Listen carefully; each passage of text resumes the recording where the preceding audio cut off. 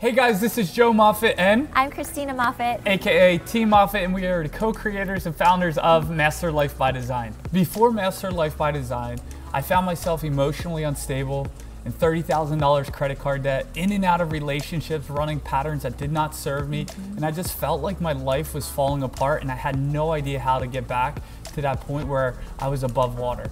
And now I'm living the life of my dreams. I have a beautiful queen, we have an amazing little boy, and we get to travel the world and go where we want, when we want.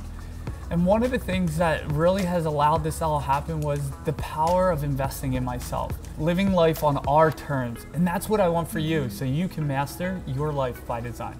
So what's cool is I get to wake up next to my man every day and my baby boy. I get to go downstairs and make us breakfast and we get to spend time together and we create our schedule so that we get to work from home and we don't have to worry about traffic and the nine to five. We truly have a life of freedom that's so beautiful. So what's possible when you master your life by design is that you will be living the life that you imagine, the life that you dream of. So think about all your hopes, all your dreams, all your desires, the desire to travel the world and live in the body that you desire and to have the relationship that's full of love and passion. Imagine what that would feel like to actually be living it.